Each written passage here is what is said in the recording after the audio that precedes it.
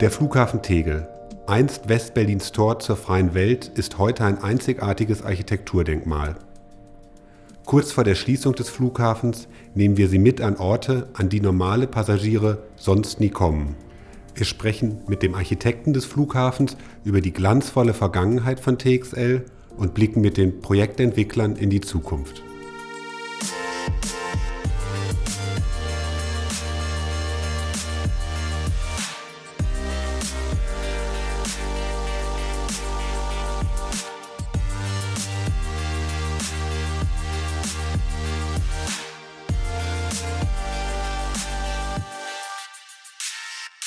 Herzlich willkommen am Flughafen Tegel. Mein Name ist Christoph Rauhut und ich bin der Direktor des Landesdenkmalamtes Berlin. 46 Jahre lang war dieser Flughafen in Betrieb. Demnächst wird er schließen. Bevor das passiert, nehme ich Sie heute noch mal mit auf eine Reise durch das Gebäude und über das ganze Gelände. Und wir fangen an in der Vorgeschichte. Zur Unterstützung der Berliner Luftbrücke entstand hier, damals im französischen Sektor Berlins, schon 1948 die damals längste Start- und Landebahn Europas. Als die Teilung Deutschlands immer fester zementiert wurde, wurde auch der Plan verworfen, den im Ostteil der Stadt gelegenen Flughafen Schönefeld zum gemeinsamen Großflughafen auszubauen. Tempelhof war aufgrund des gestiegenen Luftverkehrs zu klein. Westberlin brauchte einen eigenen neuen Flughafen. Hierfür wurde ein internationaler Wettbewerb ausgeschrieben, bei dem 68 Entwürfe eingingen. Gewonnen hat den Wettbewerb die Hamburger Architektengruppe um Meinhard von Gerkan und Volkwin Mark. Absolute Neulinge, die gerade frisch von der Uni kamen und als Wettbewerbssieger zwischen 1968 und 1974 das Mammutprojekt Flughafen inklusive der Zufahrtsstraßen, Brücken und Nebengebäude planen und bauen durften. Eröffnet wurde der Flughafen am 1. November 1974. Die Westberliner können ihren Traum von grenzenloser Freiheit über den Wolken nun von einem brandneuen Flughafen aus real werden lassen. In Tegel ist ein moderner Terminal entstanden. Der neue Airport soll den traditionsreichen Flughafen Tempelhof ablösen, als Brückenkopf Westberlins zum Bundesgebiet. Die Baukosten betrugen über 500 Millionen D-Mark. Geplant als Flughafen der kurzen Wege, galt Tegel bei seiner Eröffnung als der modernste Airport der Welt.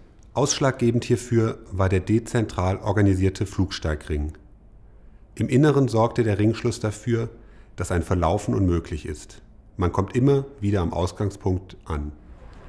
Weltweite Aufmerksamkeit erreichten die Architekten für ihre Idee der Drive-In-Vorfahrt und der dezentralen Abfertigung.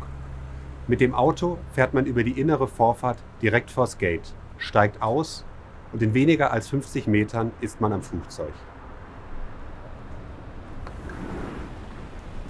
Das Einzigartige, jedes Gate hat seinen eigenen Abfertigungsbereich, inklusive Check-in, Gepäckaufgabe, Pass- und Sicherheitskontrolle. Und das ist das, was viele Gäste am Flughafen Tegel so lieben. Und hier am Gate A05 treffe ich nun den Mann, dem wir das alles zu verdanken haben, den Architekten Meinhard von Gerkan. Guten Tag, Herr von Gerkan. Guten Tag. Herzlichen Dank, dass Sie uns hier willkommen in Ihrem Gebäude. Sie haben ja damals äh, einen Wettbewerb gemacht, direkt aus dem Studium raus, direkt gewonnen. Ähm, wie kamen Sie denn überhaupt auf die Idee, für ein solch großes Projekt, ein so bedeutendes Projekt wie den Flughafen von West-Berlin überhaupt als junges Architekturbüro oder als junger Architekt einen, einen Beitrag einzureichen? Solche Ausschreibungen sind mal diese, mal jene. Mal ist es ein Kindergarten, mal ist es eine Schule, mal ist es ein Krankenhaus, mal ist es ein Bürohaus. Und mal ein Und Flughafen. ganz, ganz selten ist es auch mal ein Flughafen.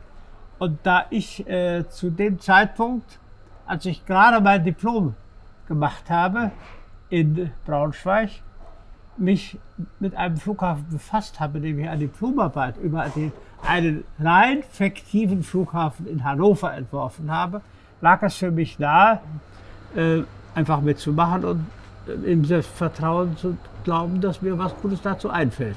Sie hatten ja eine besondere Idee für diesen Flughafen, der sogenannte Drive-Check-In. Man fährt mit dem Auto vor und ist auf einem ganz kurzen Weg äh, direkt am Flugzeug. Wie sind Sie auf diese Idee gekommen? Das war ja damals ganz neu. Das liegt auf der Hand, wenn man sich klar macht, dass die immer größer werdenden Flughäfen immer längere Fußwege zum Folge hatten, äh, insbesondere in den USA. Und der Wunsch, äh, nicht mit viel Gepäck bis zu irgendeinem Abfertigungsschalter laufen zu müssen, äh, sich immer mehr verstärkte und das als ein besonderes Privileg galt, wenn man äh, auf dem kürzesten Wege vom Flugzeug direkt an das eigene Gepäck gelangen konnte und dann wieder in die Stadt fahren konnte. Was, was ihn aber besonders macht, ist im Gegensatz zu vielen langgestreckten Flughäfen, die die gleichen Voraussetzungen hatten, war die Tatsache, dass es ein geschlossener Ring war. Das war damals die zentrale Idee. Tegel war der fortschrittlichste Flughafen der Welt, als er eröffnet ja, ist. Ja, das ging sogar so weit, dass als äh, diese äh, Prämierung veröffentlicht wurde und in der, Weltpresse erschien, dass alle Leute, die was davon verstanden, sagten, das ist der Flughafen der Zukunft. Die werden alle in Zukunft so aussehen. Dass es nicht so gekommen ist, mhm. hat zwei schwerwiegende Gründe. Äh, der eine hing damit zusammen, dass im Flugverkehr die Frage der Sicherheit, der Sicherheit von Passagieren, und, aber auch der Sicherheit der Flugzeuge, Flugzeugentführungen und all das äh, immer mehr zunahm. Und aus diesem Grunde es notwendig wurde, die Passagiere, äh, wenn sie vom, von der Landseite in die Luftseite wechselten, zu kontrollieren. Das kann man natürlich, wenn man ringförmig die einzelnen Schalter anordnet, schlecht an einer Stelle konzentrieren. Das ist dann dezentral angeordnet und hat zur Folge, dass man jeden dieser Kontrollpunkte personell besetzen muss. Das ist natürlich ein Kostenfaktor. Das war der eine Grund. Den zweiten, der zweite der ist absolut absurd. Äh, inzwischen ist es so, seit vielen Jahren wissen wir das jetzt, dass Flughäfen nicht mit Start- und Landebahngebühren ihr, ihr Obolus verdienen, sondern beschaffen sich ein Nebenbrot durch Geschäfte. Und das hat eine, eine Größenordnung angenommen, dass heute die Flughäfen mit diesen Nebeneinnahmen mehr verdienen als mit dem Fliegen selbst. Jetzt sitzen wir ja hier im Terminal und sehen teilweise noch die originale Ausstattung und ein Element, was ja den Entwurf wirklich kennzeichnet, sind Dreiecke. Man schaut an die Decke, man schaut auf den Boden, man schaut auf den Grundriss, man schaut in den Schnitt immer wieder das Dreieck. Warum? Unser Statiker Poloni äh, sagte, das bauen wir Flughafen als eine Teil. Äh, das ist natürlich nicht ein Teil geworden, aber es war ideell war es ein Teil. Es war ein ein Grundmodul, aus dem man im Grunde genommen äh, alle anderen Attribute und Ergänzungen, Stühle, Tische, Garderobenständer, Telefonzellen, was auch immer, alles haben wir aus einer Melodie gespielt. Mhm. Natürlich kommt, äh, kommt dann natürlich auch so ein, ein bisschen äh, Eigenwille hinzu. Das war im Grunde genommen äh, eine Willkürentscheidung, eine, also eine äh, ästhetische Entscheidung, um ein Stück Identität zu schaffen? Ja, zum Flughafen gehört ja mehr als nur das Terminal, durch das die Passagiere durchkommen und wo die Flugzeuge ankommen. Zu Tegel gehört ja noch viel mehr. Was haben Sie damals alles geplant? Alles, was, alles, was Sie auf diesem Gelände sehen. Von, äh, von den Straßen über die Rollwege, über die Parkplätze für die Flugzeuge, und alle Nebengebäude, also alle Frachtgebäude, die Hangars. Und haben Sie sofort den Auftrag für alles bekommen oder nein. Sie haben den Wettbewerb gewonnen, man ist nein, auf Sie nein, zugekommen? Nein, nein, das, man hat uns ja gefragt, wie uns das, wie uns das überhaupt gelungen ist, diesen Auftrag zu bekommen. Denn das war für uns eine viel größere, äh, die viel größere Überraschung. Nicht, dass wir vielleicht zufällig gewonnen haben, weil, es, weil uns das eingefallen ist, sondern wie man jemanden, der noch nicht mal einen nicht mal ein, ein, ein, eine Garage für einen VW-Käfer gebaut hat, den einen solchen Auftrag dieser Dimension geben konnte. Und das Und da habe ich mir eine Taktik ausgelegt, Vertrauen zu erwecken. Habe gesagt, gib uns, gebt uns einen kleinen Teil, äh, was auch immer, wo es immer beginnt, natürlich et zunächst etwas, was sekundär ist und nicht was primär ist. Äh, und wir geben uns die beste Mühe und zeigen ihnen, dass wir das gut machen. Und wenn wir das gut gemacht haben und sie damit zufrieden sind, dann geben sie uns den nächsten Schritt. Und das haben wir fast bis, bis zum allerletzten Moment durchgehalten. Herr Gerkans, bin ich vor ungefähr einem Jahr ja zu Ihnen gekommen und habe gesagt, wir stellen diesen Flughafen unter Denkmalschutz und nicht nur den ganzen Flughafen, sondern die, die Anlage. Wie haben Sie da reagiert? Was, ähm, was passiert mit einem, wenn man ein solch wichtiges Werk gebaut hat? Ähm, ihr, ihr erstes großer Auftrag, das Büro begründet hat und das Ganze zum Denkmal wird. Das hat natürlich Euphorie in, in, in unserem ganzen Büro ausgelöst. Es ist äh, ein Wohlgefühl der, der Anerkennung durch die Öffentlichkeit, das Publikum, äh, die Menschen, für die wir als Architekten ja eigentlich tätig sind. Wir sitzen jetzt in einem Bereich, der für Passagiere sonst auch zugänglich ist und wir haben aber jetzt noch die besondere Möglichkeit, auf das Gelände zu kommen und auch uns noch Nebengebäude anzuschauen, zu denen man sonst nicht hinkommt.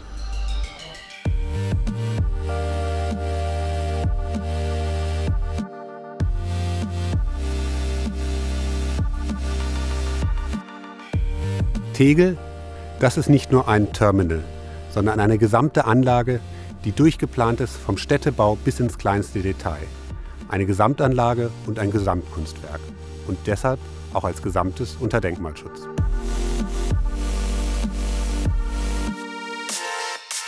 Das ist die, die, die, die Klimazentrale, da, da ist der Schornstein, der war auch mal andersfarbig. Äh, und hier ist die gesamte Heizung vom gesamten Flughafen ist hier unter der Erde, teilweise auch in der Tonne.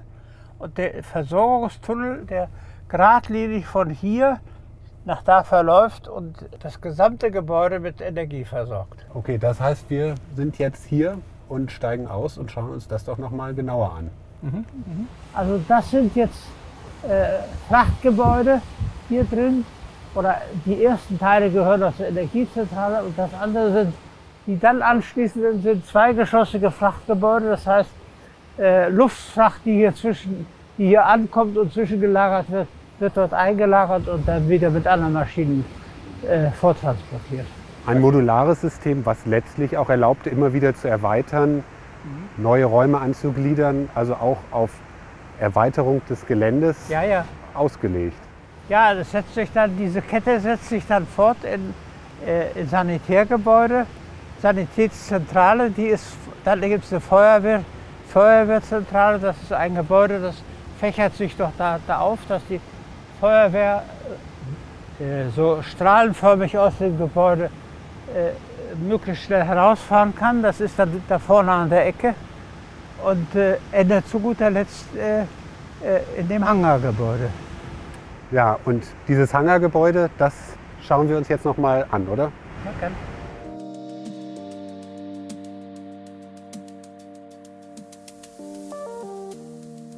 Das ist das größte Gebäude, was, den, was es hier im Flughafen oder zumindest das höchste, oder? Ja, ist so.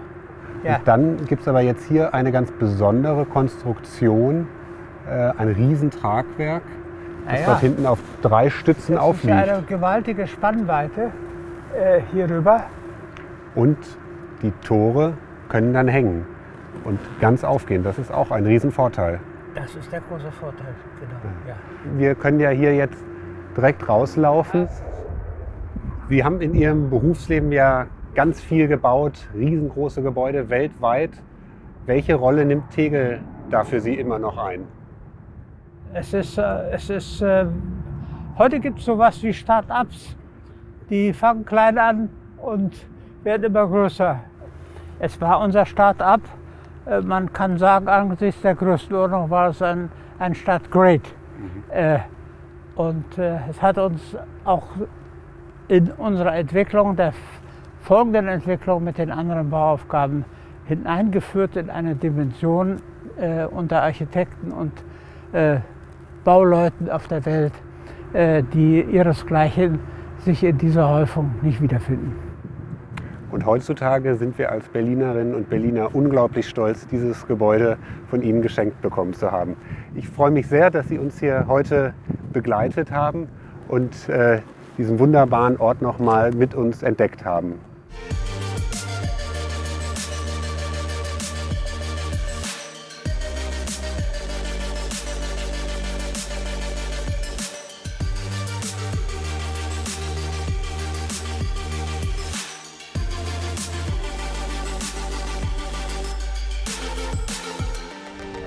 Der Flughafen Tegel ist ein junges und ein besonderes Denkmal. Und als Denkmalpfleger freut man sich natürlich besonders zu wissen, dass die Gebäude und auch die ganze Anlage in der Zukunft weiter genutzt werden. Was hier genau passiert, das werden wir jetzt besprechen mit Philipp Buttelier, der Geschäftsführer der Tegel Projektgesellschaft ist.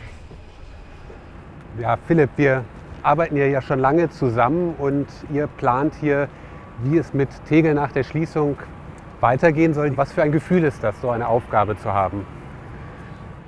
Also erstmal der Abschied von Tegel fällt der Stadt schon schwer, ähm, weil er ein ungewöhnlich klug konzipierter Flughafen war. Aber dass Tegel irgendwann ein Ende haben wird, das war ja schon in den 90er Jahren klar. Damals wurde das beschlossen. Und unsere Aufgabe ist nun seit acht Jahren, uns zu überlegen, was machen wir mit dem Gelände. Ähm, in diesen acht Jahren sind sehr spannende, tolle Planungen entstanden.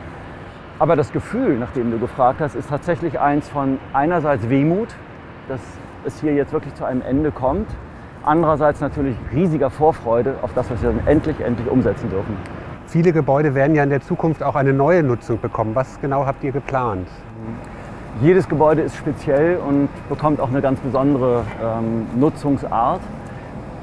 Wir bewegen uns jetzt im Augenblick auf dem Dach von Terminal A. Terminal A wird eine Hochschule. Hier zieht die Beuth Hochschule ein und wird einen Urban Tech Campus etablieren. Also alles, was mit urbanen Technologien, mit Stadttechnologien zusammenhängt.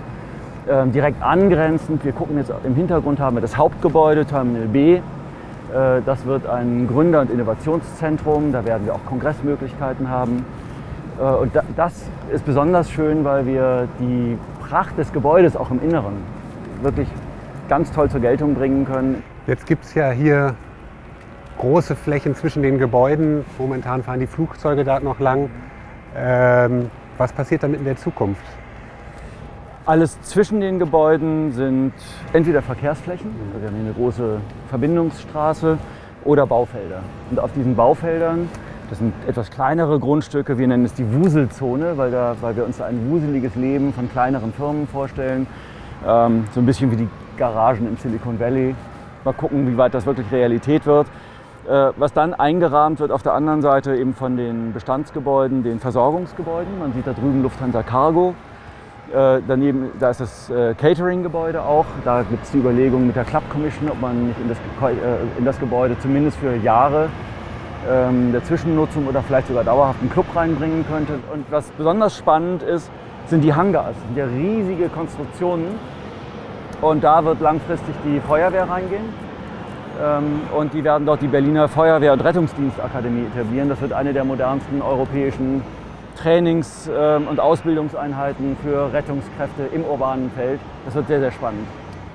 Und dann gibt es ja noch die Flugzeughalle, wo auch getestet wird, der Lärm, die sogenannte ja. Lärmschutzhalle, ja wirklich ein reiner Funktionsbau ist. Ja, es war ein ähm, Turbinenteststand. Was, was kann man damit in der Zukunft machen?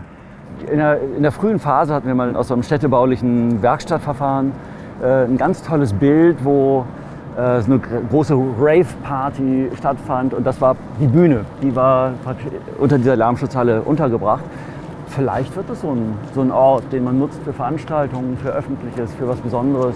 Müssen wir mal gucken. Aber das heißt, der Charakter des Geländes wird über die Bauten, die alle bleiben und neue Nutzungen bekommen, bestehen bleiben? Wenn man so ein Projekt macht, dann ist man dankbar für einen historischen Kern, der dem Ganzen eine, einen Nukleus gibt. Und von diesem Nukleus aus, von diesem historischen Kern aus entwickeln wir alles andere. Und dieser Sprung von der Vergangenheit in die Zukunft ist was Tolles. Und er stammt ja architektonisch aus einer Zeit, in der man noch an die Zukunft glaubte. Also er hat so etwas Retrofuturistisches in seiner Architektur. Und das wieder aufzugreifen und spielerisch weiterzuentwickeln, ist natürlich eine besondere Herausforderung. Wieder aufgreifen heißt für euch auch, dass ihr wirklich bis auf die Details geht. Es gibt ja Signaletik, es gibt einzelne Ausstattungselemente. Auch all das wird wahrscheinlich in der Zukunft dann noch bleiben und dem Ort diese spezielle Aura geben, die Identifikation äh, bleibt. Es war, es ist ein Flughafen, dann war es ein Flughafen in Zukunft und dieses Erbe, das wollen wir auch bewahren. Denn Flughäfen sind ja unglaubliche zivilisatorische Leistungen. Ähm, und was gibt es Schöneres, als so ein, so ein, Flughafen, so ein Zivilisationsbauwerk als Ausgangspunkt für die Zukunft von Technologie zu nehmen? Vielen Dank, dass du uns hier ein paar Schritte durch den Flughafen begleitet hast und auch uns über die Zukunft von Tegel erzählt hast. Es war mir eine Freude. Vielen Dank, dass ich dabei sein durfte und ich freue mich auf die weitere Zusammenarbeit. Ich mich auch, sehr gerne.